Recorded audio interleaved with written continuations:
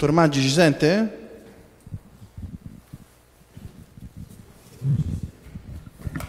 Mi sentite? La sentiamo? Lei ci sente, dottor Maggi? Sì, sento anch'io, sento anch'io.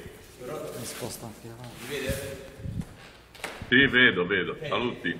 Può provare, può provare a attivare la piccola telecamera in alto a sinistra nella sua icona? Sì? Così abbiamo, Ho cliccato. abbiamo si vede.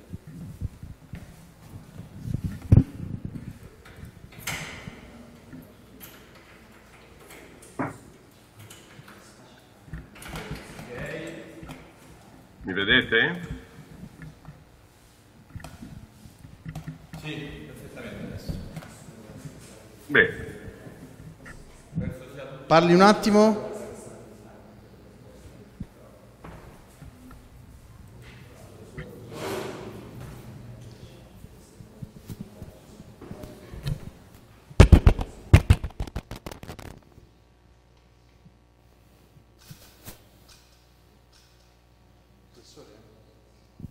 Magari vuole presentare prima... Pronto, pronto? Vuole presentare prima il dottor Maggi, professore? Allora, Roberto Maggi, che ora vi terrà una lezione da par suo sui primi scavi, soprattutto di Bernabò Brea alle Rene Candide, ma in generale diciamo, su questo scavo che come vedremo ha cambiato completamente il panorama della preistoria italiana, è stato per molti anni funzionario della sovrintendenza archeologica della Liguria, eh, ha lavorato tantissimo in questa regione anche in collaborazione con altri specialisti, in collaborazione anche con specialisti stranieri, è uno dei personaggi che in qualche modo ha portato avanti la grande tradizione ligure che comincia nell'Ottocento con Issel, poi prosegue nel Novecento con Lamboia e Bernabò Brea e lui diciamo in qualche modo ha cercato di tenere le fila di tutte queste attività aprendo anche nuovi orizzonti eh, sulle miniere di selce eneolitiche e su tanti altri contesti della preistoria ligure. Però devo dire che il leitmotiv della sua attività è sempre stato quello delle arene candide. Quindi diciamo se esiste una persona che sa tutto di questo giacimento della storia della sua esplorazione delle caratteristiche eh, fisiche del deposito, della cronologia, eccetera, eccetera. Questo è proprio Roberto Maggi, lo ringrazio e gli cedo la parola per parlare di questo argomento. Dopo me? Eccoci. Benissimo. Eh, ringrazio la presentazione del professor Guidi, ringrazio di avermi invitato. In realtà preferirei essere lì fisicamente perché io sono nato sette anni prima della televisione ed è la prima volta in cui mi trovo a parlare di fronte a un monitor eh, di un computer. Vabbè. E c'è sempre la prima volta, va bene, infatti, infatti siamo qua. Bene, la mia comunicazione avviene, però sento un ritorno in cuffia, scusate, mica possibile togliere. Sì. Sentite?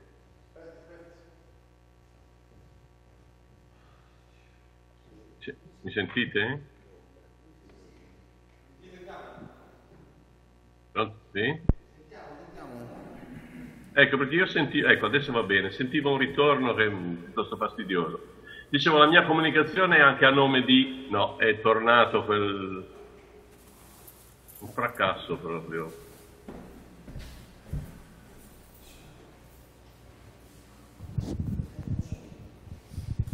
Avanti? Lei sente ancora rumore? Eh, no, adesso no, adesso va bene. Bene, allora, mi sentite? Sì. Bene. Allora dicevo, la mia comunicazione eh, avviene anche... a- Eh, dagliela, niente. Eh, vabbè, pazienza, mi, mi- mi tengo questo... È che sento la mia voce che ritorna, capite? Mm, Un po' fastidioso.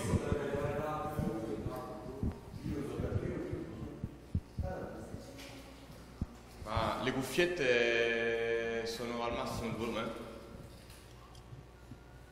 Vabbè, mi abituerò, pazienza, dai. Vediamo. Così? Sì, adesso non vi sento. Voi mi sentite? Sì, sì, benissimo. Dovrebbe andare meglio. Ho abbassato il, mio, il volume del mio altoparlante, penso che... Ecco.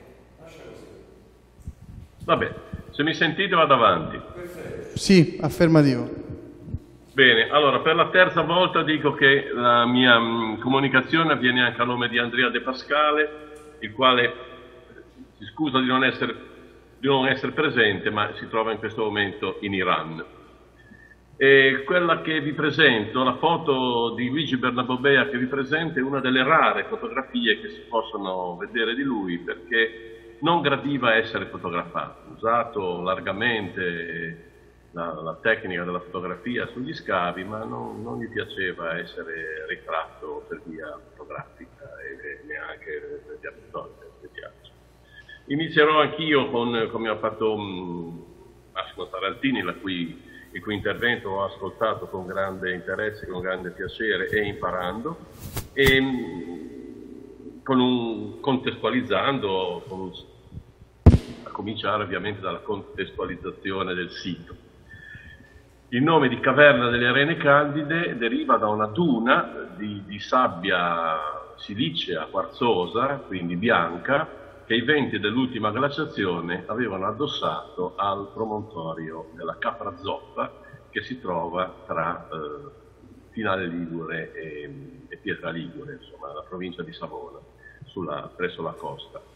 Ehm, questa fotografia, queste due fo questa fotografia, quella di in alto è di una, è una foto della fine dell'Ottocento, non sappiamo bene la data, neanche della seconda conosciamo bene la data, ma nella seconda si vede abbastanza chiaramente che è già iniziata il processo di escavazione della duna che eh, ben presto è sparita e trasformata in vetro da un'industria vetraria che è stata collocata la caverna delle Arene Candide è una caverna ampia, ehm, lunga circa 60 metri, larga 20, disposta eh, parallela alla costa con tre grandi aperture rivolte a sud e quindi è ottimale, insomma l'agenzia immobiliare promuoverebbe la, la tripla vista mare e ha un ambiente piuttosto asciutto, quindi conserva molto bene i reperti faunistici, i reperti archeologici e il suo deposito archeologico è particolarmente ricco.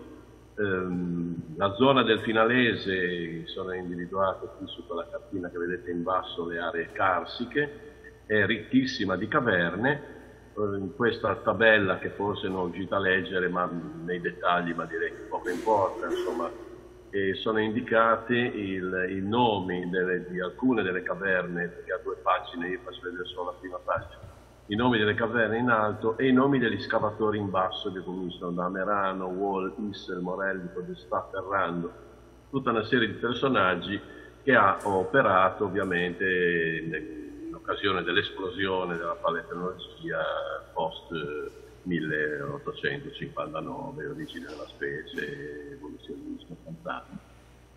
E come, perché presento questa tabella? Per far vedere che la caverna delle Arene Candide è stata quella eh, forse più indagata insieme alla Pollera e alla grotta del San Benedetto. Molti scavi sono stati condotti nella seconda metà dell'Ottocento in, in, in, in, questo, sito che quindi è diventato ben presto un sito no, molto noto, un sito, sito, diciamo così importante. E, ehm, principale scavatore ottocentesco, si può usare questo termine, è stato Arturo Issel, fondatore della preistoria ligure, eh, che ha condotto il suo primo scavo nel 1864 e è passato poi a eseguire, questo che vedete in basso, sul basso sulla destra è invece una rappresentazione, un disegno fatto da un suo allievo, eh, il sacerdote Morelli, un disegno della caverna, e questa in alto è una planimetria in cui queste crocette indicano le sepolture rinvenute eh, a a tutto direi gli anni 70 dell'Ottocento. Come vedete, appunto, come dicevo prima, la caverna è piuttosto lunga, ha tre aperture eh, verso il. Ecco, vi prego di notare che questo eh, lato della caverna viene rappresentato in questa planimetria come piuttosto contenuto, insomma la caverna finisce qua. Come vedremo in realtà non, finiva, non finisce lì, ma più avanti. Allora, 1864, prima scavo di Issel, un piccolo scavo, nel 1876 viene incaricato dal Ministero dell'Istruzione di condurre invece scavi più consistenti a vantaggio del nascente Museo Etnografico Preistorico di Roma e Torino.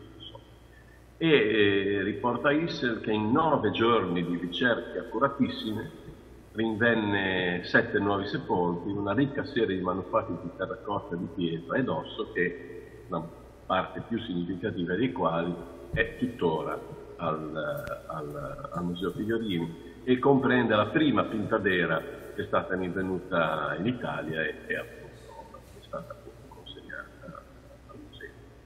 Riporto qui una, una, un passo eh, di Issel tratto dal suo volume Liguria preistorica, Issel geologo e quindi insomma la stratigrafia un geologo la maneggia eh, sicuramente. infatti che cosa scrive?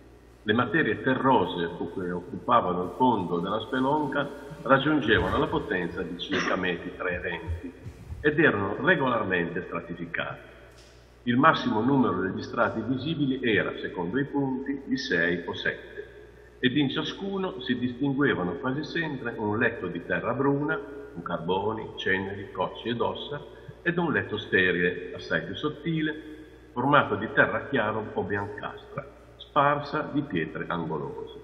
Ebbene, dopo questa precisa, direi, descrizione della stratigrafia, che cosa succede? Succede che il buon Issel non correla eh, i manufatti con gli strati. Mm, non, non, ci sono sì delle citazioni di profondità dei rinvenimenti, ma non, non, non, si, da nessuna parte viene presentata una correlazione tra reperti e strati, né da lui né direi sostanzialmente da tutti gli altri eh, numerosi scavatori. Forse Don Amerano mh, mm, indica, parla di strati, dice che sono certi materiali in uno, altri materiali in un altro, ma in maniera così, insomma, un po', un po confusa.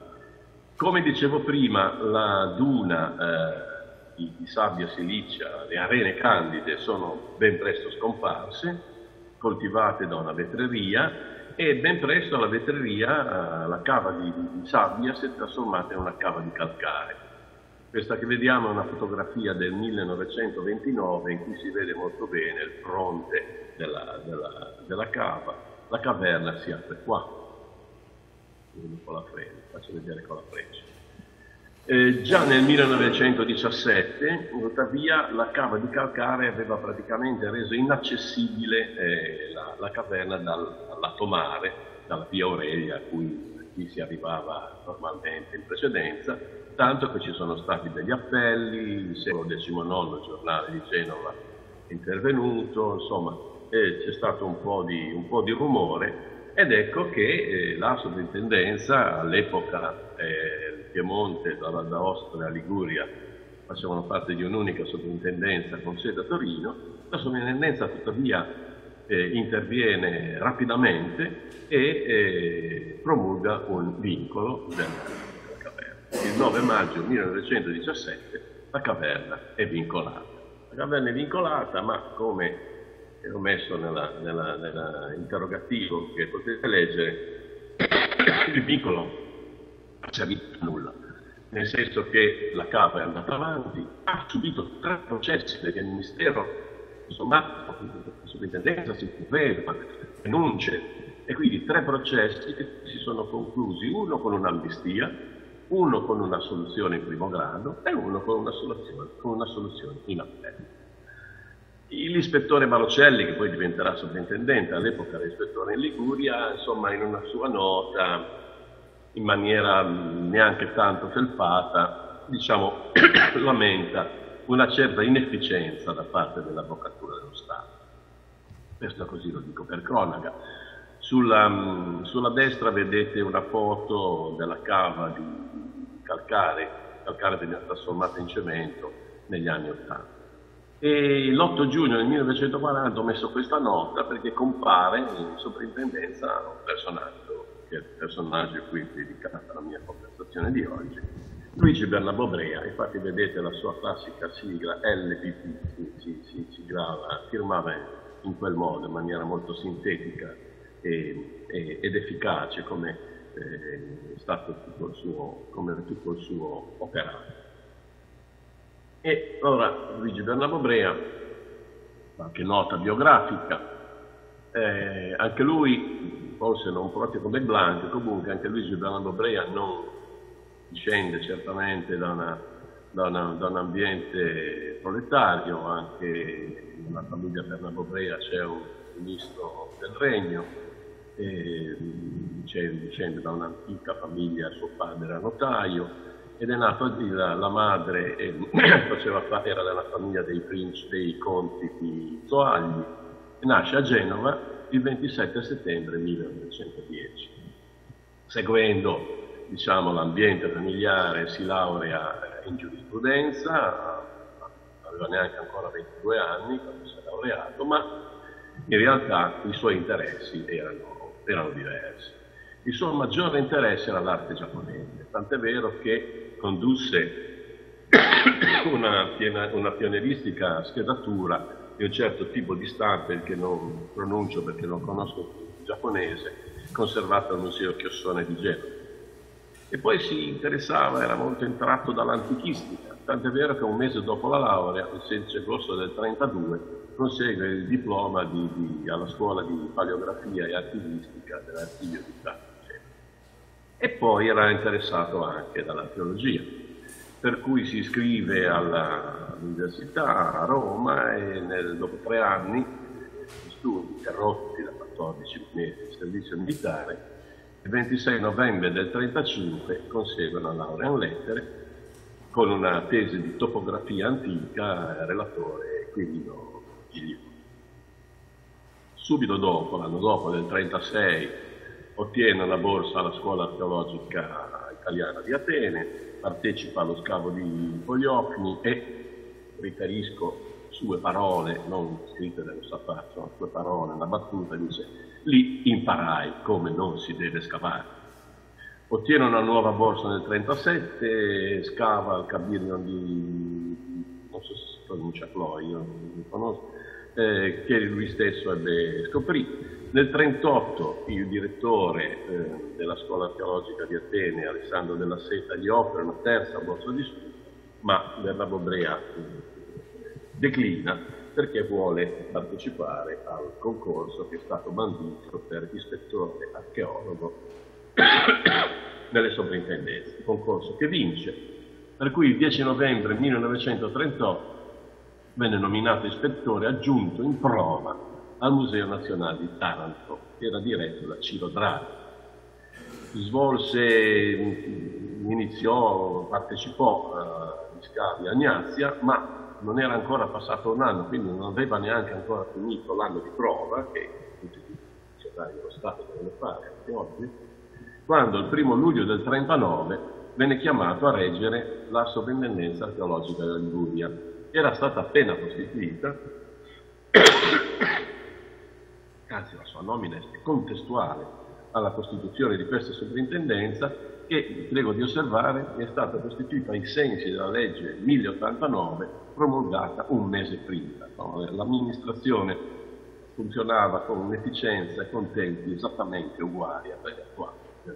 Il primo giugno del 39 promulgata una legge, il primo luglio del 39, un mese dopo, le, le nuove sovrintendenze esistono, non solo di Liguria, molte altre sono state istituite a seguito di quella legge, e, eh, e l'amministrazione parte, parte poi lo sovrintendente. Tra l'altro sembra che il fatto di aver assegnato la reggenza di una neosovrintendenza a un funzionario come cura ha finito il periodo di prova fosse legato al fatto che costui aveva anche una laurea in legge, quindi la cosa poteva essere di, di una non differente utilità. E comunque la sovrintendenza parte Con quanto personale? Uno, col solo sovrintendente. Esattamente come oggi, no? Se entrate nelle sovrintendenze trovate il sovrintendente e nessun altro. E lui fece anche l'economo fino al 27 settembre, quando poi insomma, il Ministero assegnò questa funzione non a un nuovo dipendente, ma a colui che era, già faceva l'economo della sovrintendenza monumenti, Merceschi. E qui di nuovo sono parole di Luigi Bernabò Bria, dice ma comunque gliene avanzava lo stesso del tempo, quindi insomma dire che poi era abbastanza efficiente anche questo ragionamento. Successivamente il Ministero autorizzò l'assunzione di un assistente e Bernabò Brea cosa fa? Assunse sua cugina gli fu anche conferita la direzione della sezione archeologica governativa del Museo di Archeologia di Ligure di Genova Belli. Ora, in Liguria in quel periodo aveva cominciato, stava cominciando ad operare, ah no, aveva cominciato, era già parecchio efficiente, eh, Nino Lamboglia col suo istituto di studi liguri. Perciò il, il Bernabò dice, ma insomma, per l'archeologia classica c'è Amboglia, notate che Bernabò Brea era un archeologo classico, eh, e lui mh, strinse rapporti con Ubaldo Formentini, che era il direttore del Museo Civico della Spezia, visitò alcuni siti, alcuni castellari, condusse delle ricognizioni, sondaggi di scavo che venivano pubblicati direi immediatamente. Ci fu però la guerra e, e quindi la necessità di proteggere il materiale, di, di ballarlo, di smontare le esposizioni, metterle in luoghi sicuri eh, e quant'altro. Quindi una grande attività che svolse con grande efficienza, quindi fin da subito Luigi Bernabò Brea mostra quelle che sono quelle caratteristiche di tutta la sua attività, l'efficienza, non perde tempo, pragmatismo, attenzione ai musei, pubblicazione nel più breve tempo possibile, collaborazione con soggetti capaci e dico, basterebbe questo per contrassegnare come felice l'avvio di questa nuova sovrintendenza. Ma è ben noto il motivo per cui sono qui a parlare, e lui è stato profeta in patria, nonostante, con lo scavo delle Candide, nonostante si sia formato, ripeto, archeologo, archeologo classico. Tant'è vero che la sua seconda pubblicazione riguardava vasi attici con figure rosse della collezione del principe Odone di Savoia che sono, erano e sono conservate forse non tutte, perché mi pare che ci sia stato un più.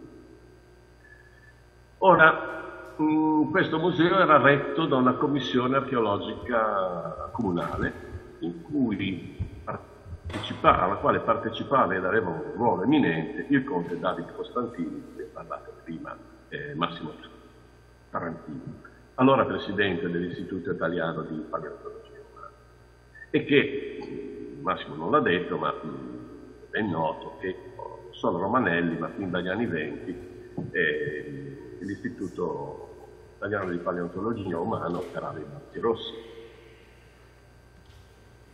con vari, scavando alcune delle, delle caverne, da cui appunto il Paromoti, denominato appunto in, in onore all'andato Bratino Monti. E, ehm, e che, come è stato detto, aveva un approccio teorico e metodologico francese, tant'è vero che appunto Luigi Cardini venne addirittura inviato in Francia per aggiornarsi su, sui metodi francesi presso la Federe, ha detto eh, molto bene Massimo Tarantino. In questo contesto l'archeologo classico Luigi Bernabò Brega comprese lucidamente che eh, la notevole potenzialità di una collaborazione con l'Istituto Italiano di Paleontologia. E questo è, eh, sono le prime righe della prefazione al suo volume, suo primo volume sulla caverna, sugli, da lui pubblicato sui, sui suoi scavi della caverna degli Arrenicani. Eh, dal giorno in cui, nel luglio 1939, fui chiamato a reggere la sovrintendenza alle antichità della Liguria, mi proposi come compito fondamentale della mia attività la revisione dei problemi della preistoria ligure con la, speranza, con la speranza di poter giungere, attraverso scavi sistematici nelle caverne del Finalese, a meglio precisare la successione delle culture, specialmente per le età più vicine a noi. È inutile che vi dica, che vi stia qui a ripetervi, lo sapete sicuramente, la, non indifferente confusione che regnava negli anni 30 per quanto riguarda la successione delle culture a, a, a ne ha parlato prima Massimo Tarantini, veniva addirittura negata l'esistenza del Paleolitico superiore. Quella che vedete sotto è una fotografia della grotta Pollera, una delle, come dicevo, delle tante caverne, alcune anche molto grandi, che si trovano nel territorio del Finale. E qui adesso vado a, a proporvi la lettura di alcuni brani tratti dal, non da pubblicazioni, ma dal diario di scavo da, dai diari di scavo che Luigi della Borea scrisse appunto in occasione dello scavo della caverna degli Arene Candide. Vediamo come eh, lui è finito a, a scavare lì.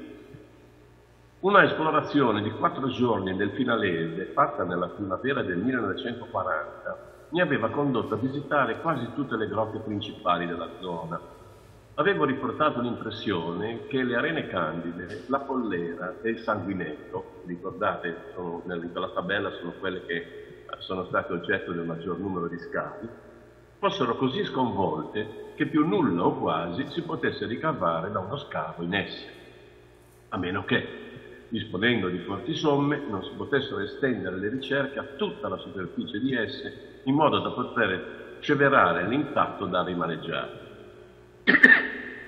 La lettura dell'Issel, il quale mi parla sempre di scavi fatti con pochi mezzi, in pochissimi giorni di lavoro, mi aveva però fatto rinascere le speranze, facendo supporto che dove era stato ammucchiato del terreno estratto e, e a fianco delle buche de, degli scavatori, forse si, consen- poteva conservare del terreno non, ca- non scavato e che quindi tolti ogni cubolo magari si potesse trovare qualche lembo di zona, di zona intatta in cui condurre quegli scavi. Però capite che non è certamente la situazione ottimale quella di trovarsi di fronte alla situazione con dei canyon, con dei buchi, poi un lembo di deposito, poi manca, eccetera. Quindi insomma queste caverne non erano in cima alla lista. Successivamente partecipa alla commissione direttrice del Museo Civico parlato prima, mm, non si legge bene sul diario il numero del giorno, comunque nell'ottobre del 1940 presso il gabinetto del Podestà di Genova, il sindaco insomma, e parteciparono alcune persone, tra cui il, il commendator Grosso, il direttore del museo, il barone Gian Alberto Branchi, Carlo Alberto Branchi ed altri. Io proposi, Luigi Bernardo Beria scrive, la ripresa degli scavi nel finalese se l'Istituto Italiano di Paleontologia Umana avesse voluto associarsi a me e darmi le direttive necessarie affinché questi scavi fossero condotti con tutti gli accorgimenti e con la stessa tecnica con cui si conducono dall'istituto stesso gli scavi nel periodo paternale. Insomma, faccio notare come un archeologo classico eh, ha immediatamente, appena è venuto a contatto con con l'attività dell'Istituto di Paleontologia Umana ha capito che così si doveva fare, che così era opportuno fare e così vuol fare. Con grande comprensione e con squisita gentilezza il barone Blanc accolse la mia richiesta e mi promise completa assistenza. Furono stanziate a questo fine 3.000 lire sul fondo del museo dell'anno 41 e con ciò, e qui vi prego, notare questo, eh. chi poi, poi andrà a lavorare nelle sovrintendenze, prego ricordatelo questo passo. E con ciò le ricerche poterono avere inizio, essendosi deciso ad anticipare io di tasca mia tale somma, al fine di poter fare gli scavi in questo stesso autunno prima che sopravvengano i freddi invernali. Scappa da ridere perché io ho lavorato 32 anni in tendenza quando leggo queste veramente mi scappa sempre da lì. Alla somma stanziata dal municipio di Genova aggiunsi quasi altrettanto da parte della Regia Soprintendenza. Vedete come funzionava la Sì, c'era solo un, un, un, unico funzionario, no, poi due perché gli avevano concesso di, assist, di assumere un assistente, un assistente, ma il dirigente era in grado di fare il dirigente. Prendeva le decisioni, anticipava in tasca sua i soldi e poi decideva senza tanti ragionamenti con Roma, con tanti progetti, con progetti di metterci uh, altrettanto, di, di, di, usare i fondi della sovrintendenza. Evidentemente lui aveva a disposizione dei fondi e decideva come usarli. Il barone Blanc, mantenendo puntualmente la promessa, inviò subito in mio aiuto il professor Luigi Cardini, segretario della sezione di Firenze dell'istituto, il quale già aveva riordinato il museo di Pesaro. Il professor Cardini giunse a Genova mercoledì 23 ottobre e la sera stessa, dopo aver fatto i necessari preparativi, giungemmo fino al Marino. Il nostro programma era quello di rifare l'esposizione delle grotte principali, che la Bobré aveva già fatto, nei primi tre giorni. Però cosa succede? Succede che il 23 sera ottobre arriva la finale e il 24 ottobre mattina, il giorno dopo, viene il piove. E allora cosa fanno? E vanno nella caverna più vicina alla stazione finale, che è la caverna delle Arene Campi, la quale non era nella lista, era in fondo alla lista dei, dei siti da visitare, ma eh, andarono lì per questo motivo. E lui dice, sulla quale avevamo in realtà ben poche speranze, però insomma, però, però non tutto il male viene per nuocere, a volte da un effetto, da un elemento negativo nascono gli effetti positivi e così in alto a destra vedete l'apertura eh, della caverna e questa è un'altra bellissima foto della Bodrea che sta assistendo a qualche operazione.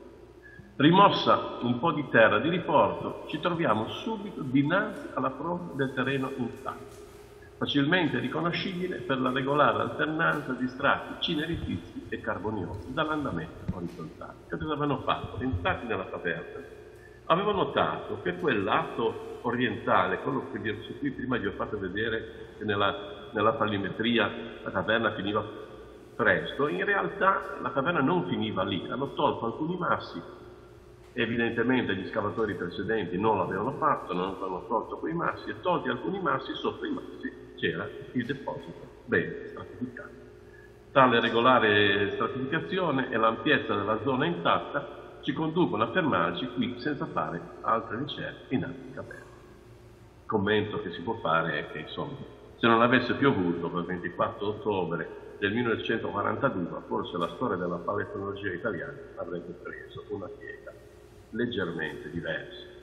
Il primo strato conteneva reperti di età romana e carta romana, già il secondo strato parla materiale preistorico, alla base dello strato 2 vennero in luce tre lastricati che qui vediamo e tracce di altrettanti polari.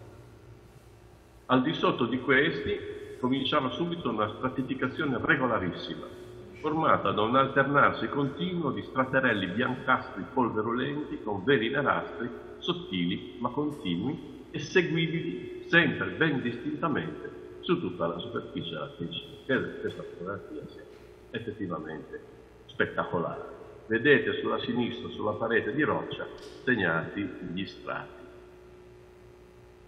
E si tratta questa della caratteristica stratificazione della caverna delle arene candide che contraddistingue quasi tutto, direi gran parte del deposito locente, soltanto gli strati superiori, il romano e recente, non hanno questo tipo di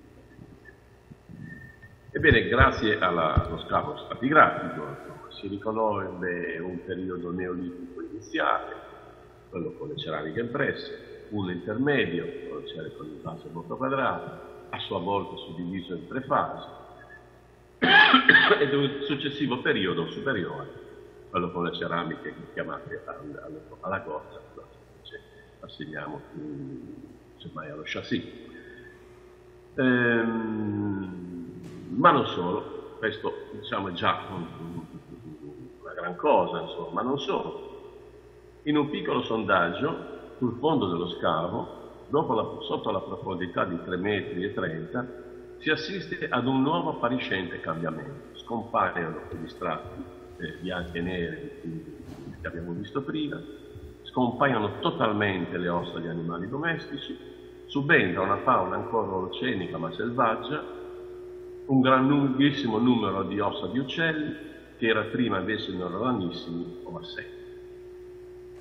I materiali rinvenuti nell'intervallo compreso tra 3,90 m e 4,30 m sono ormai eh, in questo intervallo sono completamente assenti le ceramiche e sono scalitica permanentemente, sono in tutti identici a quelli rinvenuti negli strati allora chiamati mesolitici dei balzi rossi condotti scavo dal professor Alberto Carlo Bracci. Perciò Già alla fine della prima campagna, il 22 novembre 1940, dopo meno di un mese, l'obiettivo che nella Bossi era fisso come opera sua, era in realtà già in gran parte, in gran parte raggiunto. Ha conosciuto uno strato mesolitico e ben tre principali strati neolitici con uno a sua volta suddivisibile in tre fasi e quindi diciamo, la sistemazione la successione delle culture, almeno per quei periodi, era, era raggiunta. Nella seconda campagna, condotta dal 25 aprile al 4 giugno del 41, raggiunse la profondità di 6 metri e mezzo e eh, accertò l'esistenza di un deposito ancora più antico, individuabile dal suo colore giallastro, con, insomma, con caratteristiche eh, sedimentologiche eh, ben diverse dalle, dalle precedenti e la vagliatura fine, ecco, vi faccio notare che nel 1941 tutto il deposito veniva setacciato con setacci, con maglie. Io sappia da 5 mm, ma perché questi li ho visti di setacci, però non mi meraviglierei se fosse anche qualcosa di più piccolo. Comunque, con questa vagliatura fine permise di accertare la presenza di scaglie minutissime di selce che attestano appunto o la, e o la lavorazione e, e, il ritocco dei manufatti. Ora, eh, l'esistenza di un deposito pleistocenico nella caverna delle, delle arene candide prima non era mai stata vista, era ignota.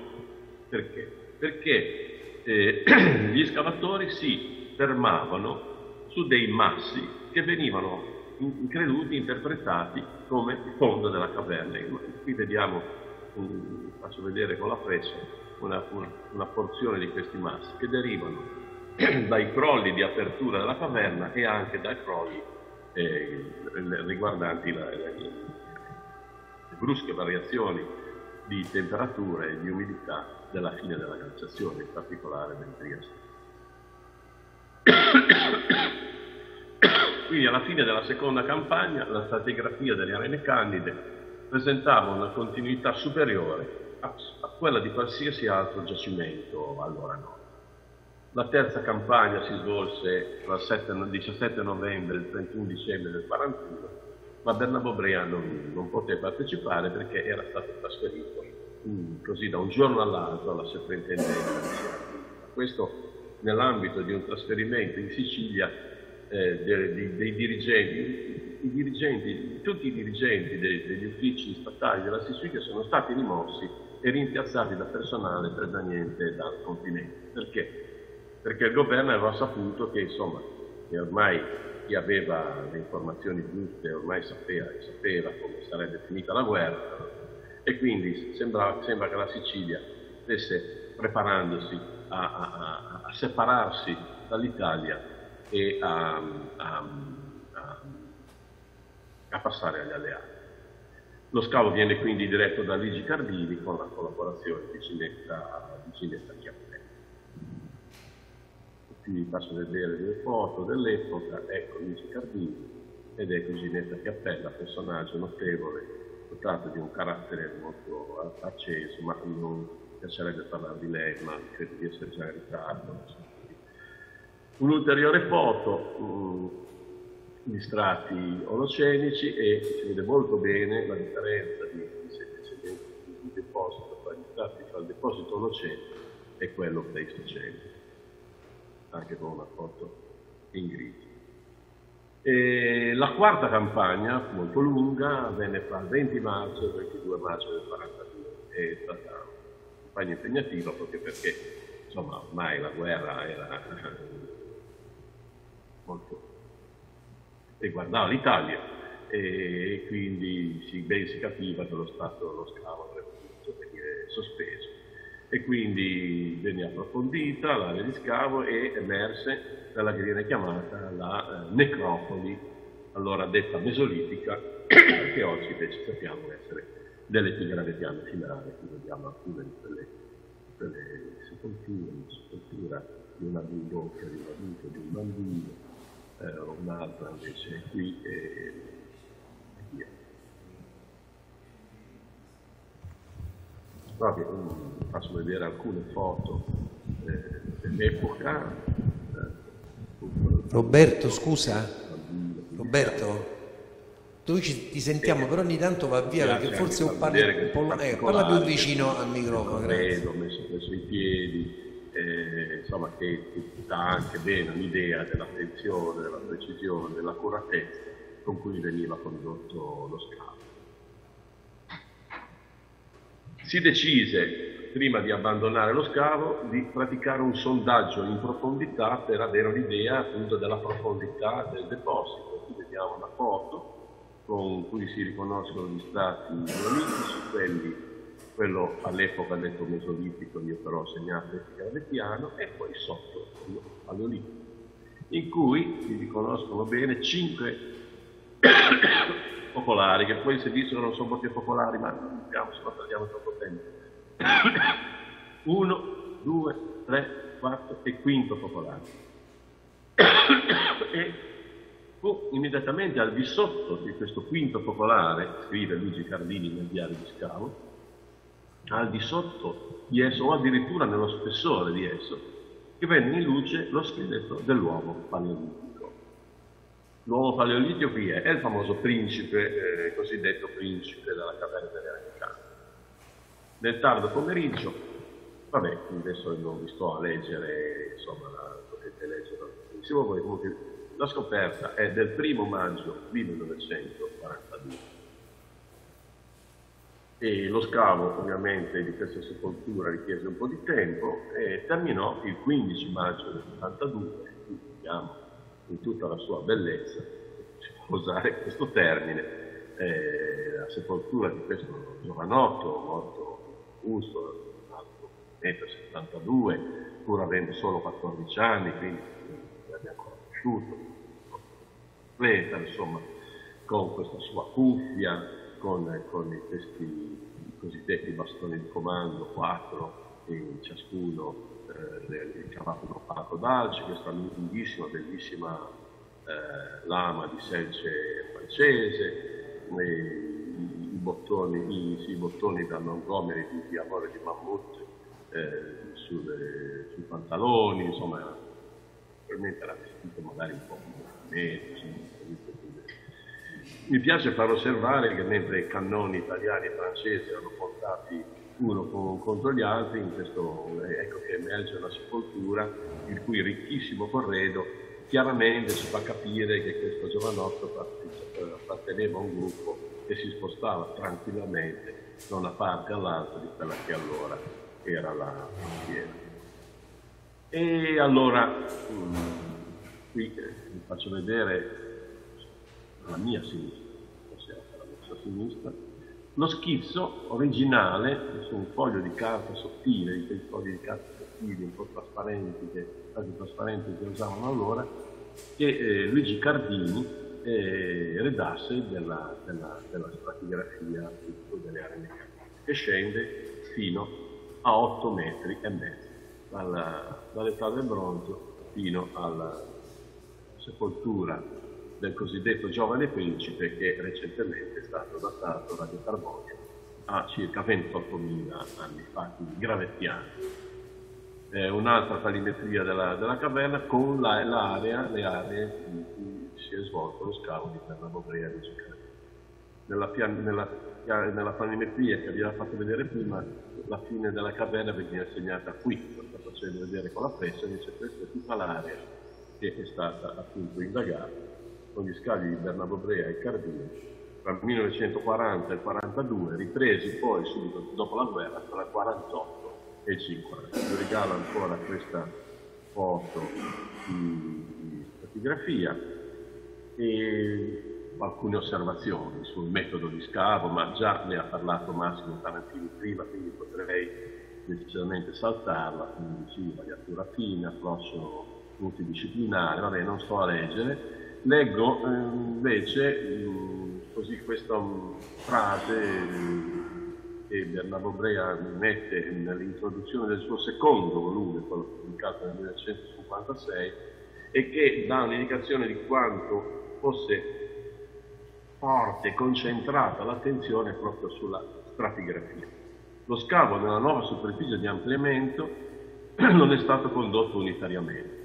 La superficie è stata suddivisa in tante zone, contraddistinte da varie lettere, nel quale lo scavo è stato condotto in modo indipendente. Oggi magari questo viene criticato, dice che è meglio scavare in maniera reale, ma ripeto, il riconoscimento, la, la sicurezza stratigrafica era, era, era prioritaria e quindi conclude dicendo la successione stratigrafica è stata quindi riesaminata nel complesso dieci volte e in punti particolarmente delicati oltre 21, il che ha dato la possibilità di escludere qualsiasi errore in cui avrebbe potuto indursi il diverso e talora irregolare andamento degli strati. Quindi mi sembra molto chiara la, la, la preoccupazione appunto stratigrafica di questi signori.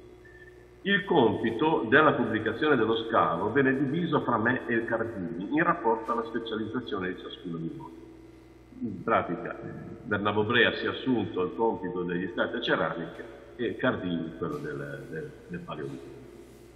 Nel 1946, appena finita la guerra, compare il, il libro, il volume di Bernabo Brea stati a ceramica, che in realtà era già pronto nel 1942, pensate, solo che non venne pubblicato perché perché il manoscritto finì sotto, sotto le bombe che colpirono la soprintendenza in occasione del grande bombardamento inglese di Genova.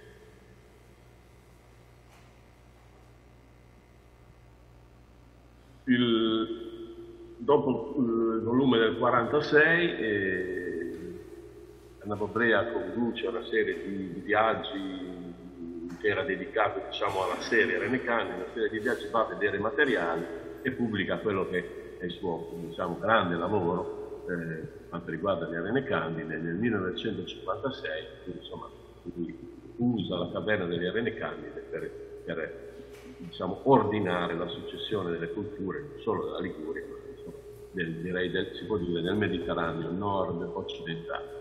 Cardini invece non, eh, non fa come Bernabò, pubblica sì degli articoli, ma monografie mi pare che fosse un perfezionista, non era mai abbastanza sicuro e insomma muore senza aver pubblicato. L'eredità del suo lavoro viene assunta da Amilcare Bieghi, il quale nel 1994 eh, su Quaternaria 9, è stata citata prima, e questo numero di, di Quaternaria 9 è interamente dedicato alla serie eh, paleolitica eh, delle, delle arene candide, non solo delle industrie, ma delle faune Altri lavori eh, compaiono nel 1980, mentre un'ulteriore serie di lavori che riguarda soprattutto la, che riguarda la fase olocenica, con lo studio delle faune, con lo studio del eh, malapologico, eh, con lo studio dei, dei, dei, dei carboni. Eh, non so se l'ho detto, se l'ho scritto prima, ehm, il, um, il, de, oltre 60 datazioni radiocarboniche, molte delle quali sono pubblicate lì, eh, sono state eh, eseguite con fruscoli carboniosi raccolti priva dell'invenzione del metodo della carbonica. Questo mi sembra che sia abbastanza emblematico della, di quanto fosse diciamo, avanzato il metodo di lavoro dell'Istituto di Paleontologia. Ma adesso vorrei, così avviandomi alla conclusione, parlare dei rapporti fra Bernabò Brea e Nino Lamboglia e quanto il lavoro svolto alle arene candide e ai balzi rossi abbia influito sulla archeologia classica. E Lamboglia e Bernabobrea si sono presi abbastanza bene, entrambi erano personaggi iperattivi, e Lamboglia frequentava, andava sia ai Balzi Rossi sia alle Arene Candide, eh, ogni tanto andava anche alle Candide a farsi prestare qualche operaio, e insomma Bernabobrea gli rodava, magari non proprio insomma, volentieri, ma insomma i rapporti erano buoni. E, e scrive Nino Lamboglia. E quindi il nostro primo compito e canone fondamentale che sia indissociabile la ricerca della preistoria e della protostoria da quella dell'archeologia classica. Insomma, interessante, no? E, e, che l'una e l'altra debbano procedere con metodi paralleli e concomitanti. All'epoca gli scavi di archeologia classica erano sostanzialmente gli scavi, degli sterni che, che, che portavano in luce il monumento. E, strati, il concetto della stratigrafia nell'archeologia classica è stato introdotto sostanzialmente da Mino Lamboglia, tantomeno la scuola di scavi che veniva condotta da Ventimiglia, ma Ventimiglia è stata frequentata da moltissimi archeologi classici che poi hanno, hanno applicato il concetto ai, ai, ai e, e chiarissimo quello che, che, che Voglia scrive, che lui ha sostanzialmente imparato eh, dall'Istituto di Tecnologia Umana, dai Balzi Rossi e dalle Americane.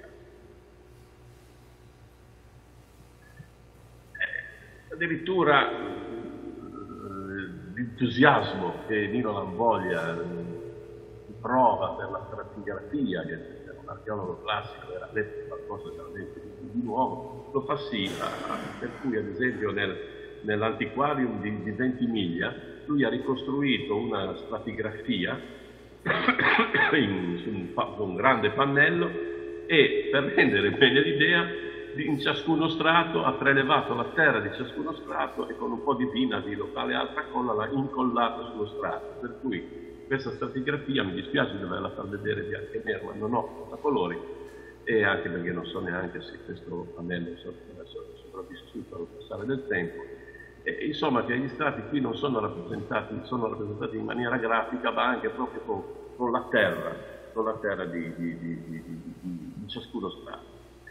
I due appunto collaborano anche con ironia e scrive Lamboglia di Bernabò Brea appunto in Sicilia. La Sicilia ha anche la fortuna di possedere a Siracusa un soprintendente agile e dinamico, Luigi Bernabò Brea, un archeologo che corre sempre. Siamo soliti dire scherzando che egli è discendente di Eolo e che per questo ha scelto a sua reggia Lipari, scoprendovi cose mirabili in campo preistorico. Da parte sua eh, ho, ho, preso una, una breve nota che Bernabò Brea scrive a Lamboglia e il quale dice per Alesa, città messinese, abbiamo dunque cioè, collaborazione, diciamo, quindi ho, ho, la collaborazione di Gian Filippo Carrettoni, il quale al 20 milium alla mano, cioè il, il lavoro di, di, di, di, di Lamboglia a Ventimiglia, sta intanto cercando di classificare i primi concetti raccolti sul Palatino, cioè Gian Filippo Carrettoni sta tentando di applicare la stratigrafia agli, strati, agli scavi del Palatino. Orribile dicto, con ironia, no? fino ai luoghi più sacri giungono le eresie provinciali, le idee nuove e sovvertitrici. Questo perché Nino Lamboglia non è che fosse molto gradito nell'ambito dell'archeologia classica. Le arene candide oggi concludo. E in questa diapositiva vedete bene l'enorme squarcio della cava di calcare che finalmente ferma ormai da 28 anni. La caverna delle arene candide si apre qui e questa è una veduta diciamo, attuale o subattuale. L'apertura che avete visto anche in una foto bianco e nero. Oggi c'è una scalinata che consente di raggiungerla agevolmente perché ormai dalla via Aurelia è impossibile salire lassù, bisogna fare tutto un giro, bello però, una gradevole passeggiata. E questo è l'interno, lo vediamo durante l'escursione, la caverna è attrezzata per le visite al pubblico. E se, si riuscirà, se, la, diciamo, se riusciranno a convincere i vigili del fuoco, il, il, il museo di Finale eh, organizzerà eh, delle visite sistematiche, sistematiche del sito. Qui vedete un, è, un, è, uno dei testimoni del deposito, del deposito neolitico protetto e in attesa di venire di nuovo indagato con metodi più aggiornati. Il deposito paleolitico invece è ancora in gran parte lì, scatterebbe da dire che in gran parte è ancora tutto lì e dopo avervi fatto vedere tanto bianco e nero del, del neolitico mi piace farvi vedere qualche colore del, del, del deposito paleolitico che, eh, che, è entusiasmante e direi non solo, non solo per i colori, io spero vivamente di eh, vedere che qualcuno qualche università, qualche studi, insomma, riprenda gli scavi del deposito paleolitico delle Americane, che credo sia eh, estremamente promettente e vi ringrazio.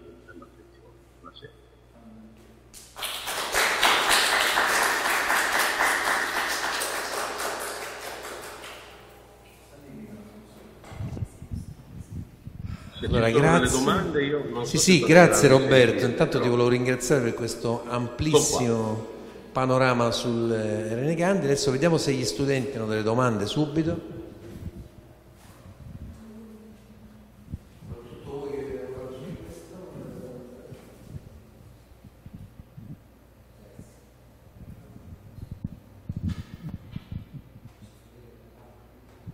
Massimo Trantini, che non è proprio uno studente piace mescolarmi. Eh, Roberto, grazie della lezione, molto bella. Eh, io avevo una domanda molto molto puntuale relativa a una cosa che hai detto in apertura, riportando, eh, riferendo eh, di una frase di Bernabo Brea eh, che in relazione al suo scavo a Poliocni, se mi ricordo bene del 1936, dice là imparai come non si deve scavare. Ecco, questa cosa mi ha colpito molto perché ehm, in ambito di, diciamo, di storiografia dell'archeologia classica, Della Seta, eh, che all'epoca era il direttore della scuola archeologica di Atene, due anni dopo sarebbe stato epurato eh, per leggi razziali, eh, pur, ehm, della Seta, ad esempio, una, se ricordo bene, in una commemorazione di Settis, eh, in un articolo di Settis, è ricordato come eh, tra gli archeologi classici uno particolarmente sensibile alle, alle, alle questioni di terreno, diciamo così, no? la ricerca sul campo. Eh, quindi mi aveva incuriosito questa tua citazione eh, e, ti volevo chiedere in che contesto Bernabo Brea fa questa affermazione e in che anno. Se mm. Sì, sì. E, no, no, non ho sentito benissimo, però mi pare di aver capito. Sì, eh, della Seta viene considerato un archeologo come si deve. In quale contesto Bernabo Brea disse questo? Durante, durante una chiacchierata, durante una chiacchierata così una chiacchierata diciamo superficiale se vuoi ecco però la cosa mi colpì, è perciò che la ricordo e, e, e la riporto. Ma quindi una testimonianza orale no, tua? No, non voglio dare più, più valore di, di, di, di, quant'altro, forse lo confronta con, con, con, con, metodologie, quelle dell'Istituto di Paleontologia Umana, che sono magari eh, sensibilmente più, più precise.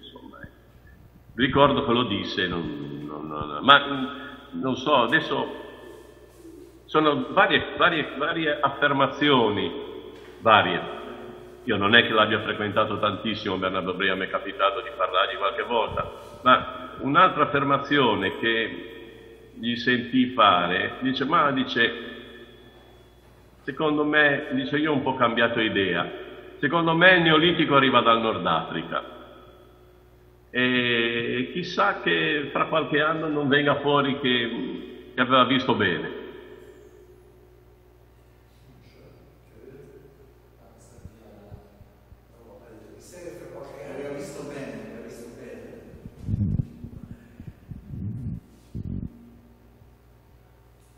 Ci sono dati nuovi che fanno pensare questo? Eh, non sento. No, dico, ci sono dei dati nuovi che fanno pensare questo. Perché dici così, Roberto? Perché lo dico? Ma diciamo, i, i cocci delle arene candide e di pochi altri siti sono fabbricati in una maniera totalmente diversa dai cocci della maggior parte eh, de, del, eh, de, del Neolitico antico, de, della maggior parte degli altri siti. Inve- e, e, e, pare che si trovi in Nord Africa un, qualcosa di simile, ma questo è solo un elemento. Poi adesso c'è anche il Castelnoviano, no? che, che, che sembra che si discute che possa avere un'origine nordafricana, insomma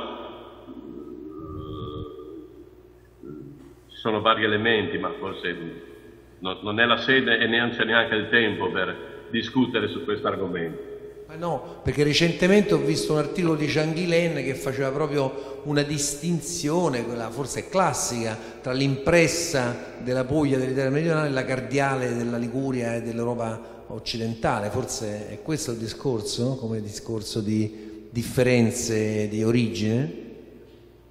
Le differenze dici fra, l'impressa L'impressa tipica della Puglia dell'Italia del Sud e la cardiale del, questo è un articolo di Ghilen recente. Del... No, no, no, no di, credo che c'entrino ben poco.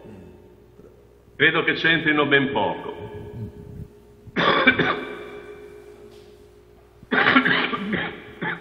Intanto il cardiale non è, non è il primo neolitico, eh. il primo neolitico dell'arco ligure e, e provenzale è l'impressa, l'impressa strumentale, che dura pochissimo, un secolo, non di più.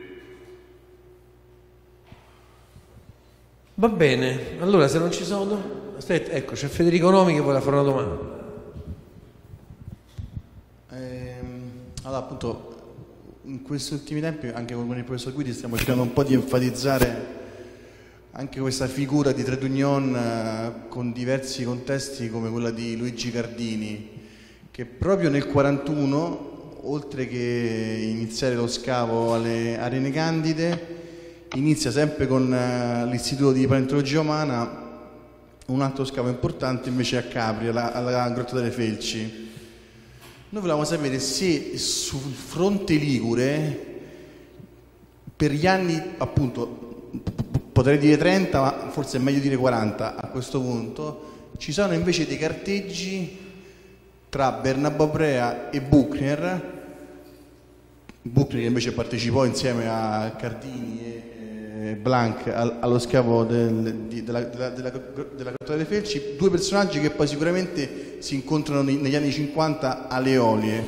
Però volevamo sapere se invece sul fronte Ligure negli anni 40 già c'erano delle relazioni tra queste due figure che hanno in mezzo sicuramente un ente, un, un istituto che in qualche modo li potrebbe unire, appunto l'Istituto di Paleontologia Umana, quindi in particolar modo con la figura di Luigi Gardini, quindi essendo a lei questa domanda, ma volendo anche a Tarantini, insomma, resta qualcosa.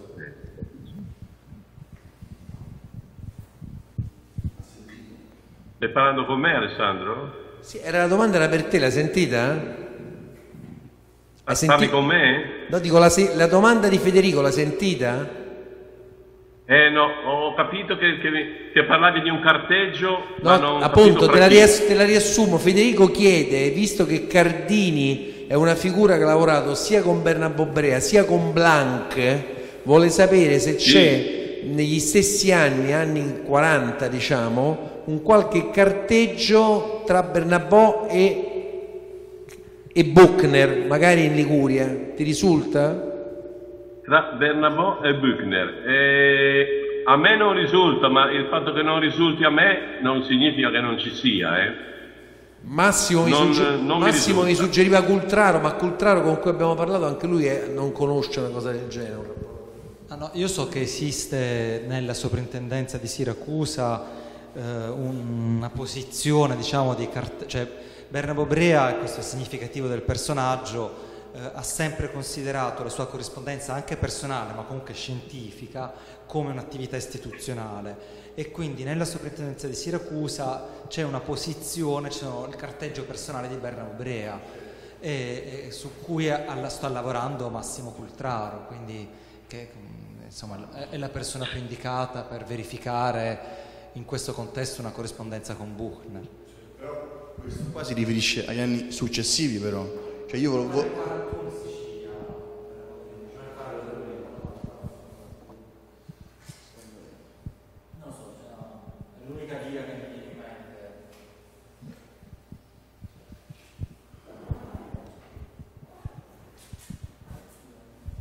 Bene, allora io penso che abbiamo fatto una cosa molto bella su questo periodo, grazie a Massimo, grazie anche a Roberto Maggi, mi dispiace che gli studenti non hanno fatto tantissime domande, non hanno fatte soprattutto sulla relazione di Roberto e ti ringrazio e speriamo di risentirci presto.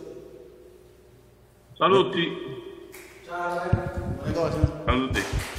Arrivederci.